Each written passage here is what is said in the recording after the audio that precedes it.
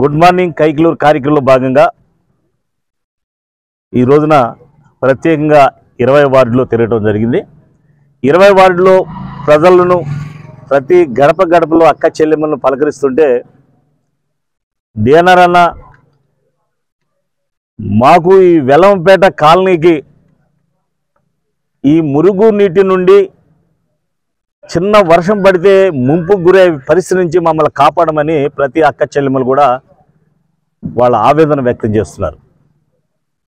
ఎంతమంది ఎన్ని కబుర్లు చెప్పినా ఏ రాజకీయ నాయకులు వచ్చేళ్ళినా గత నలభై సంవత్సరాల క్రితం ఇక్కడ వెలిసినటువంటి నిర్మాణం కొనసాగినటువంటి ఈ కాలనీకి ఇప్పుడు గడ్డు పరిస్థితి వచ్చింది. గ్రామం అభివృద్ధి చెందుతుందంటే మాకేమో వెనకబడిపోయే పరిస్థితి వచ్చింది. ఈ ప్రాంతం డ్రైన్స్ అన్నీ కూడా ఎక్కడికక్కడే కుషించుకుపోయి ఈ ప్రాంతం నుంచి బయటికి వెళ్ళే డ్రైన్స్ అన్ని చెరువుల వల్ల ఏమో మూసుకుపోయి ఏం చేయాలో అర్థం కాని పరిస్థితి ఉంది. గ్రామ పంచాయతీ సర్పంచ్ గారికి చెప్పామన్నా మీకు కూడా ఈ రోజున తప్పని పరిస్థితిగా మీకు ఇంతకుముందు చెప్తే దీన్ని ఎట్టి పరిస్థితుల్లోనూ డ్రైన్స్ అన్నీ కూడా ప్రక్షాళన చేద్దామని మీరు చెప్పారు. కానీ ఈ మీరు చేయకపోతే మేము ఈ ప్రాంతంలో అసలు కాపురాలు చేయలేమన్నని అక్క చెల్లెమ్మలు చెబుతున్నారు. చాలా బాధాకరంగా ఉంది. కానీ ఇక్కడ విషయాలన్నీ కూడా ఈ ఇరవై పంతొమ్మిది వార్డులు ఈ రెండు వార్డుల్లో ఉన్నటువంటి ప్రజలందరికీ కూడా ఈ గ్రామంలో ఉన్న పెద్దలందరికీ కూడా నేను ఒకటే చెబుతున్నా. అందరూ కలిసి కలిసికట్టుగా ఒక మాట మీద ముందుకు రండి.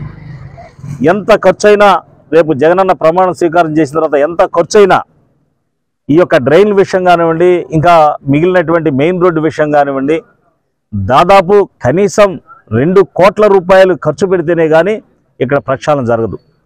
రెండు కోట్లు ఖర్చు పెట్టడానికి రేపు ప్రభుత్వం వచ్చిన తర్వాత నేను సిద్ధంగా ఉన్నాను.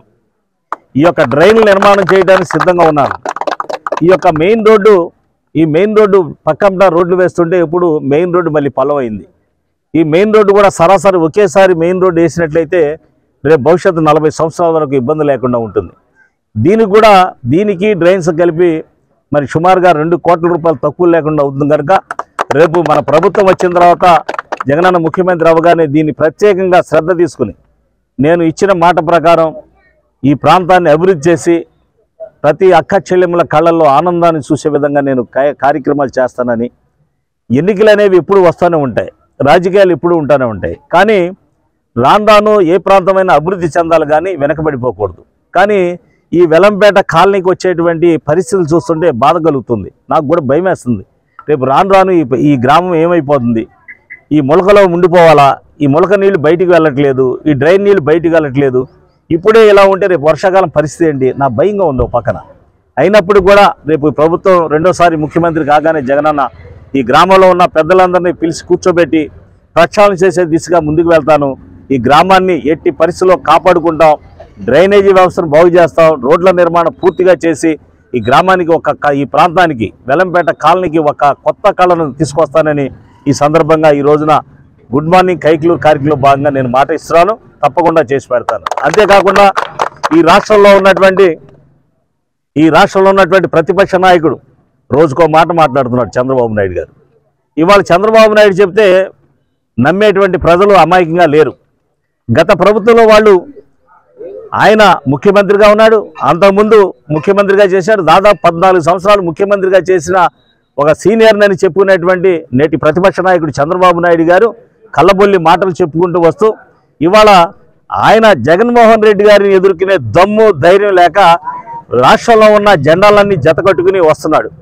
ఏం పర్వాలేదు ఇంకా ఇంకా ఎన్ని జెండాలు ఉన్నాయో తెచ్చుకోండి. ఎన్ని జెండాలు ఉన్నా పర్వాలేదు. జగనన్న ఒక్కడిగానే వస్తాడు సింగిల్గానే వస్తాడు. జగనన్న సింగిల్గా వస్తాడు. ప్రతి కుటుంబంలో ఉన్నటువంటి ఆడబిడ్డలు అదిగో జగనన్న మా అన్నున్నాడు జగనన్న మా జగన్ తమ్ముడు ఉన్నాడు అని గర్వంగా చెప్పుకునే రోజులు వచ్చాయి. ఎందుకంటే ఎన్నికల ముందు చెప్పిన వాగ్దానాలని నూటికి తొంభై తొమ్మిది శాతం వాగ్దానాలు అమలు చేసి జగనన్న అంటే నాయకుడు అంటే ఎలా ఉండాలి? మా జగనన్నలాగా ముఖ్యమంత్రి అంటే మా జగనన్నలా ఉండాలి. అంతేగాని మాయ మాటలు దొంగ మాటలు చెప్పే ముఖ్యమంత్రులు కాదు మనకు కావాల్సింది. రెండోసారి ముఖ్యమంత్రి కావడానికి మన జగనన్నకు మనం అందరూ అండగా ఉందాం. ఆ బిడ్డను ఆశీర్వదించుకుని మరొక కొత్త కొత్త విజయాలు కొత్త కొత్త ఆకాంక్షలతో మనం ముందుకు వెళదామని ప్రతి అక్క చెల్లెములు కూడా కోరుకుంటున్నారు. ఓటు చెప్పిన జగను. చెప్పిన మాట చెప్పినట్టుగా. చేసిన మా రాజన్న కొడుకుర జగను. ఏ కష్టం రావద్దని పేద గుండెకు ప్రతి పథకం పంపిండుర గడప గడపకు. జెండలు జత కట్టడమే మీ ఎజెండో. జనగుండల గుడి కట్టడమే జగను ఎజెండో. బలిరా బలి బలిరా. బలిరా పులి వెందులలో పుట్టిందా పులిరా. కుర్చీల కూర్చోవడమే మీ ఎజెండా. కుర్చీ జనమే ఇవ్వాలన్నది జగను ఎజెండా.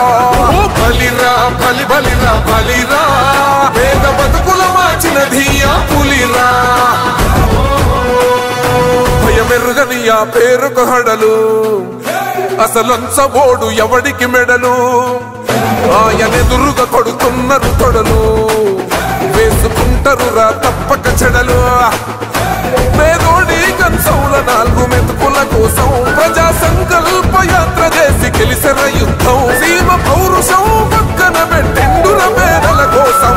జెండలు జత కట్టడమే మీ ఎజెండో. జనగుండల గుడి కట్టడమే జగను ఎజెండో. అచల్ బలిరా బలి బలిరా బలిరా పులివెందులలో పుట్టిందా పులిరా కుర్చీల కూర్చోవడమే మీ ఎజెండా. కుర్చీ జనమే ఇవ్వాలన్నది జగను ఎజెండా. పలిరా బలిరా బలి బలిరా బలిరా పేద బతుకుల మార్చినది ఆ పులిరా